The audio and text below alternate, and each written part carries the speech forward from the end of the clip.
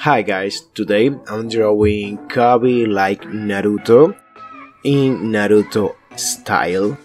I have to say I love that process because the first thing that I was thinking when I started this drawing was about Naruto and Khaby at the same time. Uh, if you know who is Khaby, I think you know who is Khaby.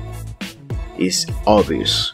But if you pay attention, you have to know Khaby loves Naruto characters.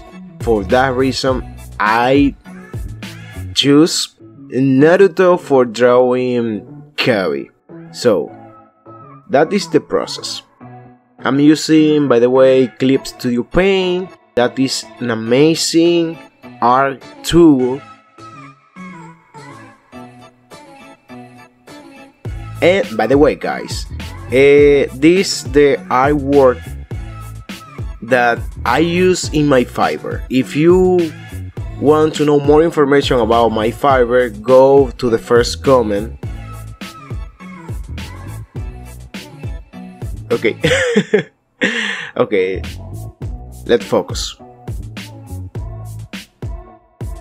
I have to say, I had a headache about the eyes.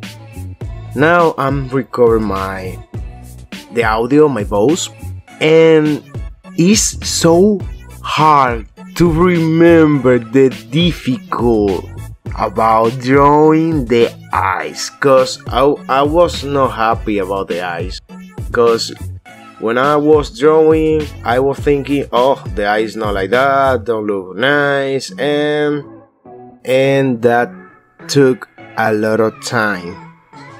But by the way in that part I lost the clip because in my country happened a blackout and that was awful. But then for clip studio i can find some clips and here we are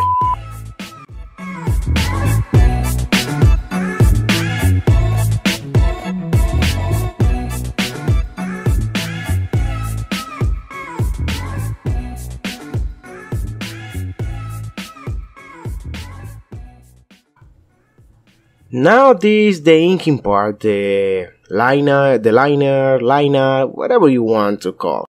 And I have to say that look fantastic.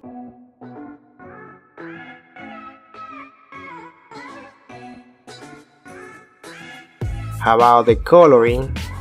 I'm select I'm select a palette about the Khaby colors and I have to say, coloring with that uh, program with Clip Studio Paint is so easy. It's really easy when you put the flat color. You only have to use the lasso to select the area that you only want to coloring and it's amazing to add the shadow and the lightning. Just Watch, that is amazing, guys!